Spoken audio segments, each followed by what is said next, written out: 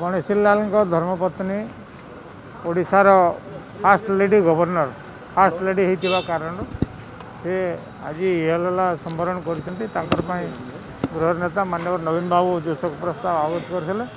ଆମେ ତାଙ୍କ କଥାକୁ ସ୍ୱର ସ୍ୱର ମିଶାଇଥିଲୁ ତାଙ୍କ କଥା ସହମତି ପ୍ରକାଶ ପ୍ରଦାନ କରିଥିଲୁ ଏବଂ ତାଙ୍କ ବିଷୟରେ ଆଲୋଚନା କରାଗଲା ଏବଂ ପରିବାରକୁ ସାନ୍ତ୍ୱନା ଜଣାଇ ଦେବା ପାଇଁ।